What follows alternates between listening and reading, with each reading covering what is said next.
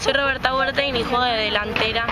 Eh, bueno, lo que yo creo que le aporto al equipo afuera de la cancha como adentro, afuera de la cancha creo que le aporto mucha alegría y diversión y levantar para arriba y adentro de la cancha no ganas de jugar y poner huevo para ganar.